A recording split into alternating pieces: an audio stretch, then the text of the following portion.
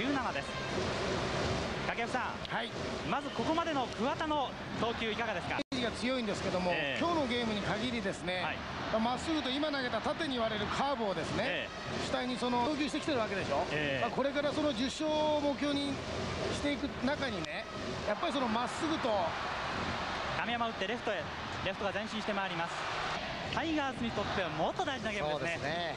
これは当に中田を立てただけに、まあ、ももちろんなこれは大きいですよ、ここで負けたら本当にちょっとショックでしょうからね、しかもここでまた今度は逆の立場ってことありますからね、そうですよこれは。ええ。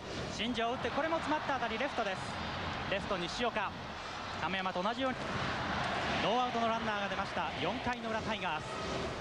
一勝与えたらおそらく阪神はこの人のために後半戦ちょっと優勝争いからだってこんな1勝2勝の問題じゃないですからねこれは。それで再三言ってるように立つ可能性ありますからね。八木をトゥーナッシングと追い込みました。それともうまっすぐとカーブの組み立てで組み立てで。僕今日挑んでると思うんですよ。バッターは8番の山田ですあの出産予定日が8月の1日なんですね。ええ。まあですからその辺掛布さんの言われるに関する情報が入りました。だけど僕なんかはあの良きパパというよりも、えやっぱりなんか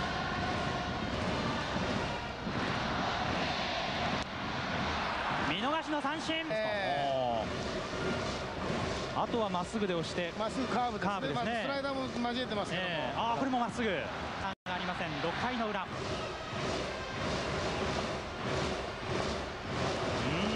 ーん。やっぱりベンチが指示してやらないといかんでしょうね。何でもかんでも打ってきますから、ええ。偶然それ。詰まった当たりショートゴロ。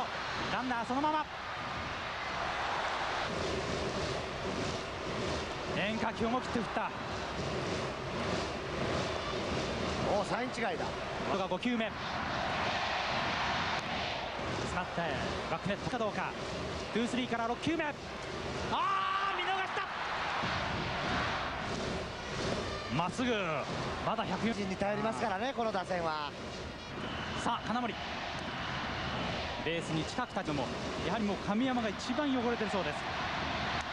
でもこの泥が似合う選手をね、ええさあ亀山カウントワンツーになりました